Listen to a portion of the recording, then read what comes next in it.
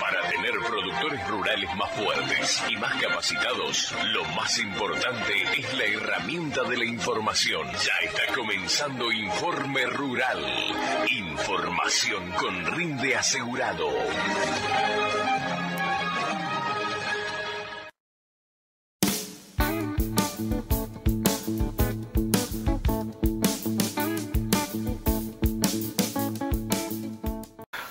La Cámara permanentemente está monitoreando la zona, Gabriel, ¿y cómo la ves?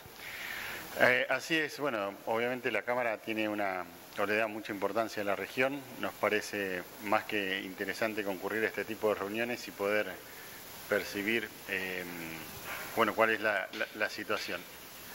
Eh, en cuanto a cómo se ve la región, bueno, eh, desde el punto de vista de calidad, que es lo que nos interesa a nosotros o a lo que nos abocamos en la Cámara, eh, en- de cosecha fina, eh, recientemente emitimos un informe que está disponible en nuestra página web, justamente enumerando los principales parámetros de calidad de- del trigo y de la cebada.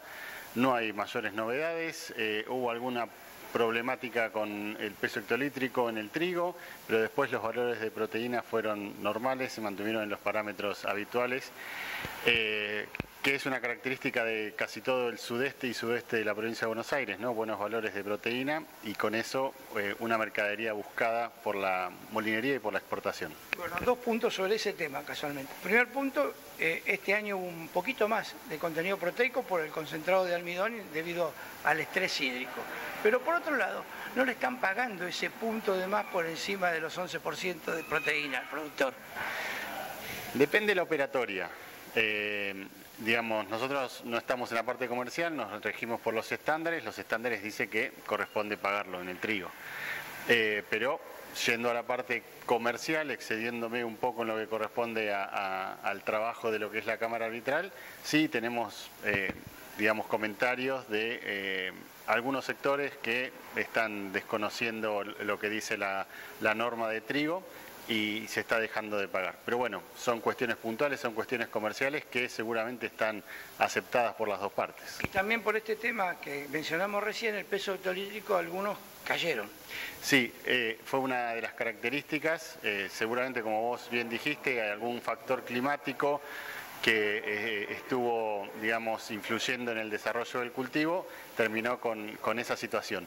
Pero no terminó afectando, digamos, la comercialización y de hecho se ve eso en el buen movimiento que presentan los embarques tanto por Bahía como por Quequén, también por Rosario, en menor cantidad por la situación que viven, la problemática de, de falta de agua, pero eh, digamos, a nivel exportaciones no se ha notado.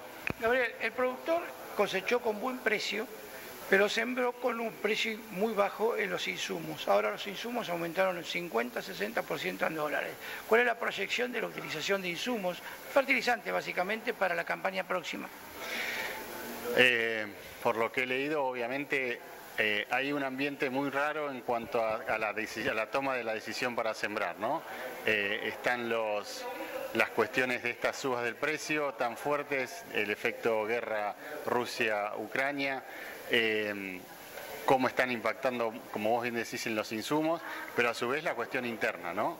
Eh, si bien hoy los mercados de futuro están dando valores realmente buenos para lo que es la, próxima cosecha, eh, el productor se está enterando en estos momentos por ahí de los rumores, bueno, que todos conocemos, y eso obviamente tal vez hace pesar más eh, la cuestión de- del insumo. Porque tampoco queremos, ya lo ha vivido el productor, sembrar y después no poder comercializarlo.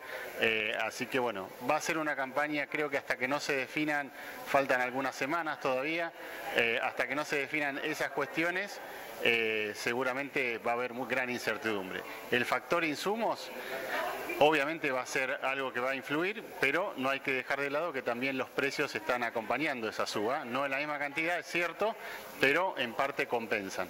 Eh, así que la verdad que es una gran incógnita lo que puede pasar con el trigo en la próxima campaña. Gracias, Gabriel. Gracias a vos.